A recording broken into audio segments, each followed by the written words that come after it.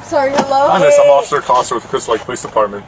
Um, we're just talking to you because we got a compl- couple complaints um, that you might have been swerving on the road. I saw the bottle of vodka that's in your driver's side of your door. Okay, right now you're being placed under arrest. You can't take my big soaps. My parents buy those for me.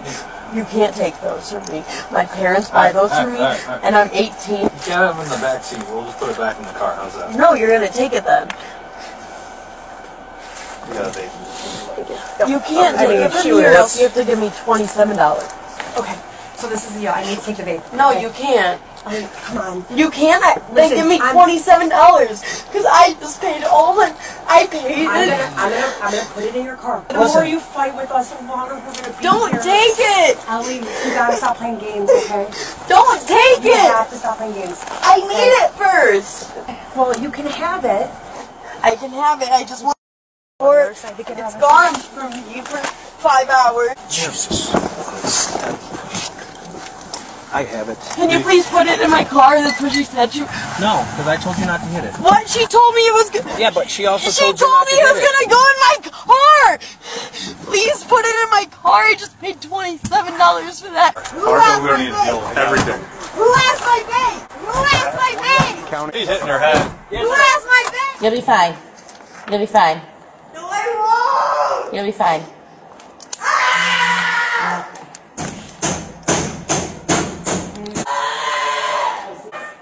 Fuck you. What's good world? It's your girl Tsunami back with another video. As you can see by the video you just watched, vape is the new crack. I know, you're like, what it vape is the new crack. Let me explain. It's that show 53% of vape users get addicted within the first 30 days of using. Doesn't seem like a lot, but keep in mind, half of these users came from smoking cigarettes, weed, and other drugs. Some just got influenced by friends at school or people that they know around to try it and got addicted within one taste. They're even planning to ban it in the UK. That's how we know vaping is becoming a problem. People are too easily addicted. It's too accessible. Sometimes you don't even need an ID to purchase one. And it's cheap. Not all are cheap, but the basics are cheap. If you want an expensive one like a Juul, then you may pay about like 30 bucks. But even then, that cartridge lasts about a good month. And that's a problem because the fact that it's cheap and it lasts long gets people addicted. They feel like they can't survive everyday life without that stupid vape. He's hitting her head. Who has my vape?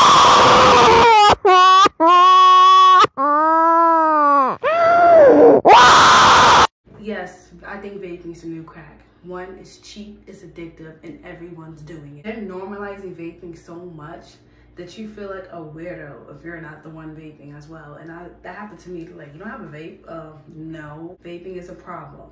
It's an epidemic. And a lot of people are getting sick and dying from it.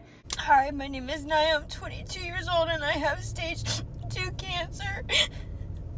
And I made a video on this app talking about smoking and drinking and the consequences that it can have with smoking and drinking. I don't want them to have cancer like me. And I'm just really upset because that video has been up for two months and it's helped a lot of people from what I've known. It's helped a lot of people put down their vapes and their drinking.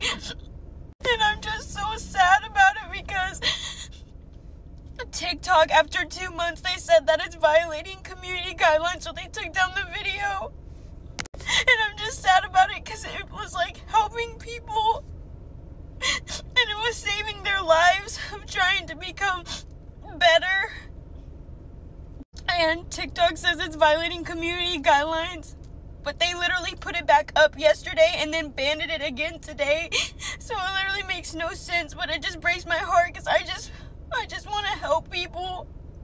And like people just want to like ban my stuff when I'm just I just truly want to help people. That's all I want to do. I don't want them to have cancer like me. I don't. And that's the whole reason why I was crying to people because I didn't know how important that their life is. I just don't want people to end up like me. And no, not get cancer from smoking or drinking. I'm just strictly doing it to let people know you can get these things from these harsh chemicals that you're putting in your body. Wow, I don't know why I'm crying. It's not that serious. This is the type of shit that people don't talk about on social media because it's like, you know, something you want to hide from other people. But I've been slowly building up my motivation to quit, and today's the day. I actually have a whole graveyard of them. This isn't even half, there's more back there. I went to CVS and got myself some nicotine gum and some zero sugar candy if I get the fruit flavor cravings. Made myself a nice little tray with all the teas and different supplements and kombucha just so that I can try to curb the cravings. And I even got this cute Stanley dupe from TJ Maxx so I can drink more water you might think I'm overreacting, but if you've ever tried nicotine, it's really freaking hard to quit. I did some research and if you're having really bad withdrawals, you can put a couple drops of essential oil and do some breathing exercises to calm down. And if I just try to quit in silence, then I could probably just relapse in silence. I already told some of my closest friends that I'm gonna try to quit this year and I wanna follow through with it because I don't want to do the harmful stuff to my lungs anymore, you know? It's it's not good for your skin, it's not good for your immune system. Just want I just want to stop. It's Tuesday, May 14th, 2024, and this day 1, day 1 of me quitting. It's funny, but it's not funny. It's actually sad that consistent vape users make fun of other vape users who actually got sick from vaping. I really need my vape. Isn't it supposed to make you think, hey, maybe I should stop?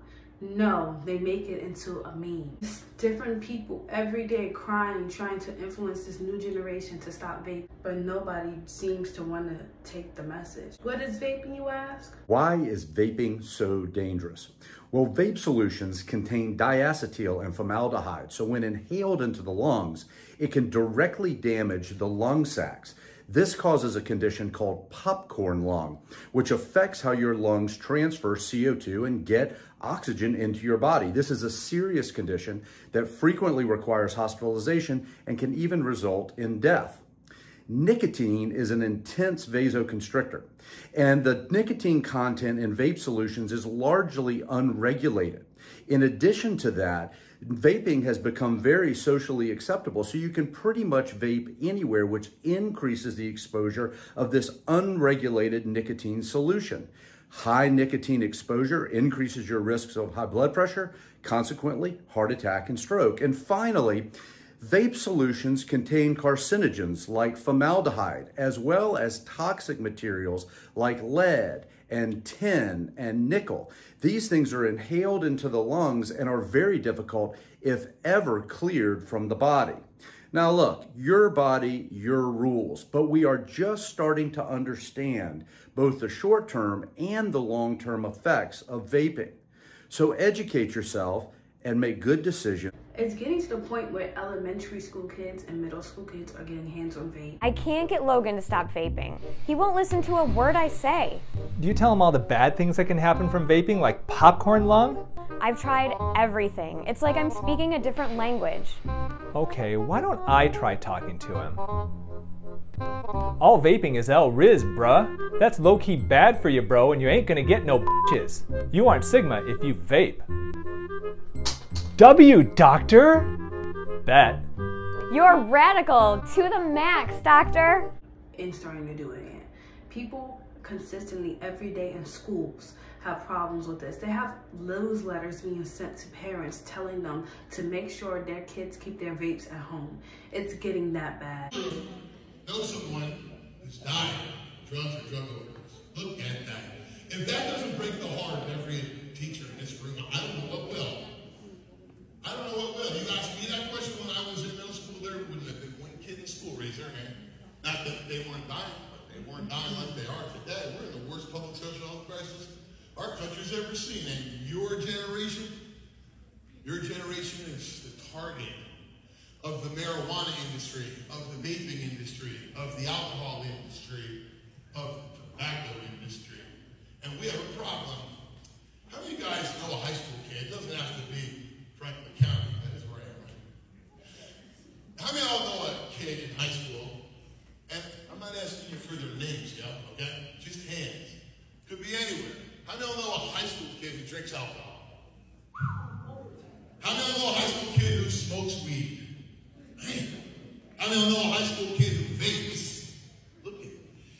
know a middle school kid who vapes? Whoa. Most hands. Most hands. Raise your hand if you know an elementary school kid who vapes.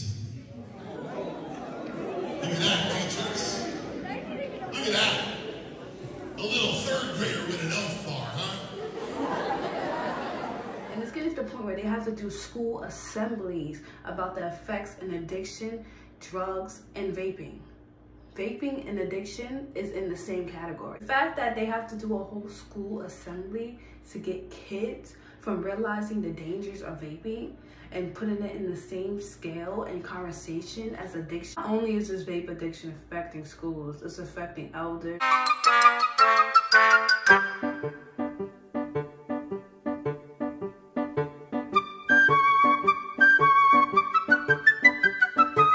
everyone, even your grandparents, believe it or not. Your grandparents, if they're in the hip side, they're probably vaping, and if they're not vaping, they're smoking weed. We still need people around. We still need our grandparents around. And I feel like I'm the only one who sees a problem because it's so normalized.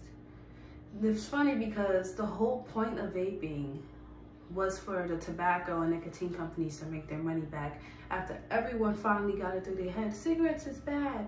Cigarettes equals no. If you look back at the statistics, cigarettes purchases went down by 30% in the early 2020s, 2010s. So you know what they came up with in the 2020s to get that money back? Vapes. Guess who was the first consumers? Kids. This is a problem. There needs to be a bigger consequence of vaping than just the fact that it fucks your lungs up. And just hear me out. It's because, like, think about this. When alcohol, sure, it's bad for you. We all know that. Sniffing jazz powder is bad for you. We all know that, but we do it anyways. But the reason we can quit it sometimes is because of our actions. And we're like, oh my god, I wish I didn't drink so much last night because I embarrassed the fuck out of myself. Or I wish I didn't do that jazz powder. I told my deepest, darkest secrets to people I don't even know. But with vaping, you just live and you just hit it and it's just good and you feel like shit and there's no consequence and you don't go home and mentally fucking think about it all day. You're just like, hmm, probably shouldn't, going to anyways. Like, you know, it's just, there needs to be more consequence than just death. This is a problem.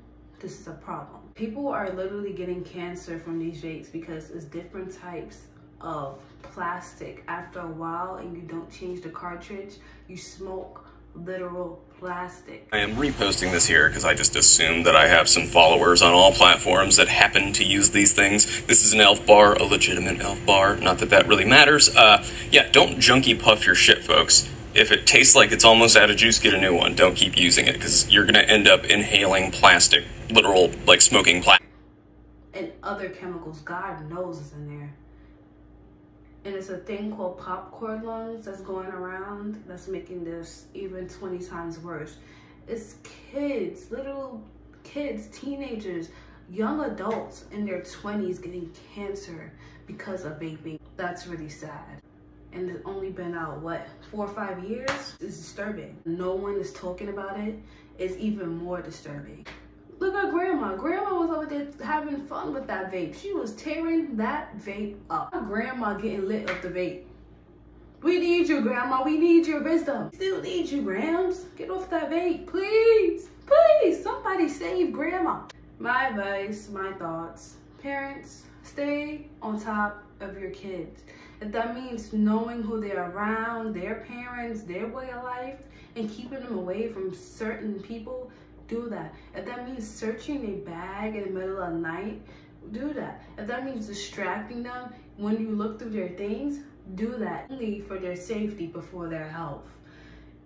Also, parents, if you know your grandma, your cousin, auntie, sister is vaping, please try to talk them out of it. I know they don't listen, they're gonna do what they want, but if something bad happens, you can say, I tried to warn you. I hope this video makes you rethink your vaping habits, makes you go into recovery, and make you stop this whole epidemic. My name is Tsunami, and I sponsor this message.